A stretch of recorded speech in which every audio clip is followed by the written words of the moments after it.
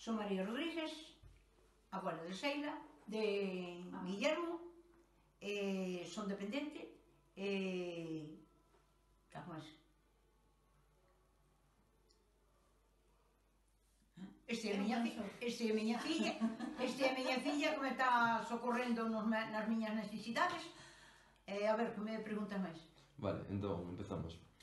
Xentes como unha persoa dependente? Eh, pois sí. Vale.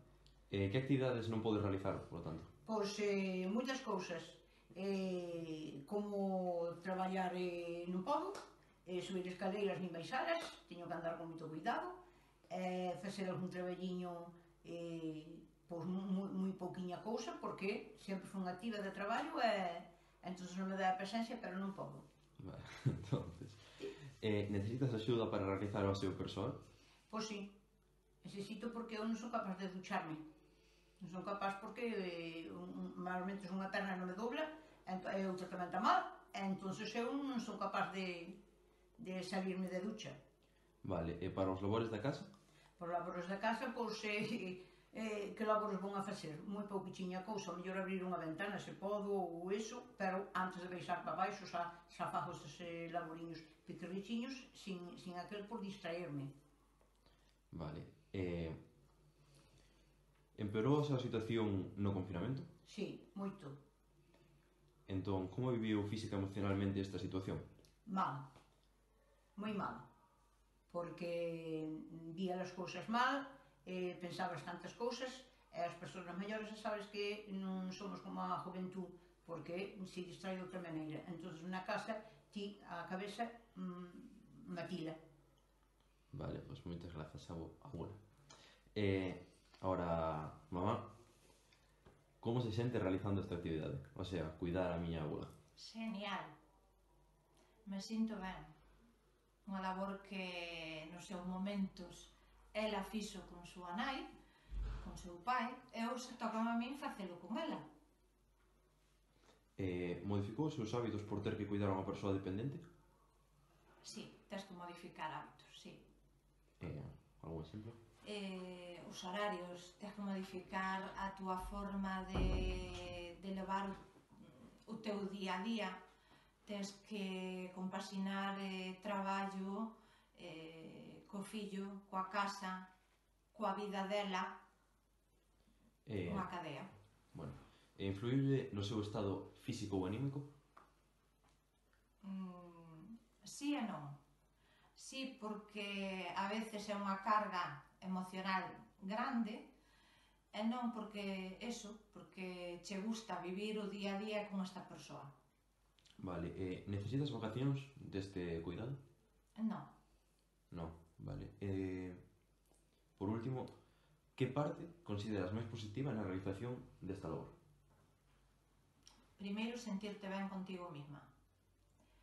E segundo, porque é miña nai.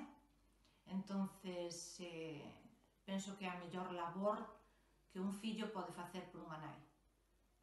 Bueno, pois, pues, eh, acabamos, pero... Eh, bueno, acabamos as preguntas agora falando un pouco do presente, non? Pero vamos a falar un pouco do pasado tamén. Entonces, abuela, eh, cuidou alguén noutros tempos? Oh, que tantos cuidei. Eu xa non me acordo cantos foron.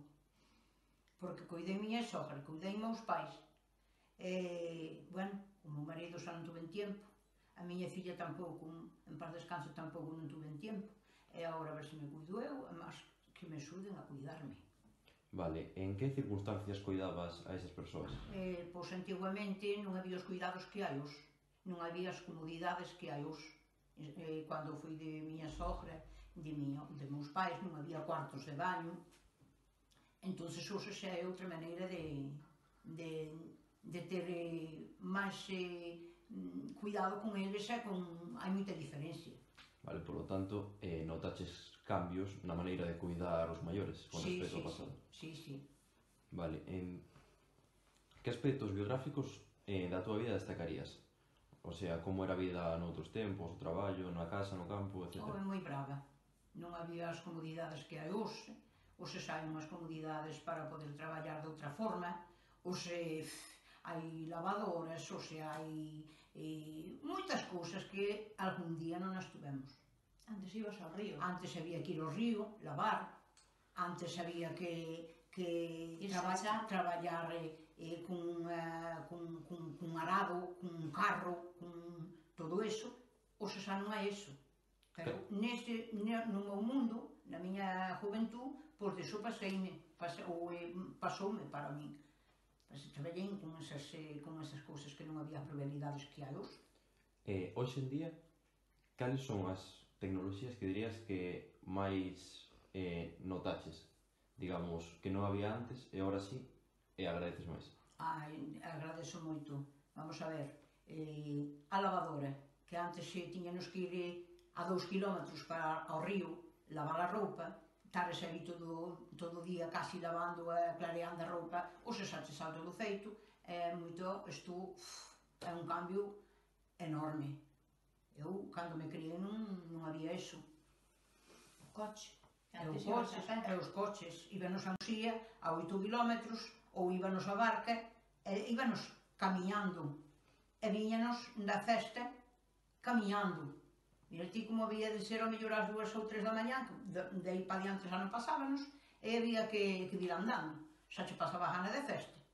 E plantar. E plantar, a plantar patatas a sacho. A plantar patatas ao sacho, e facer todo eso, todo ao sacho. E agora? E agora, co tractor, e aí en media hora fundo unha finca. Bueno, pois, pues, moitas gracias, agora.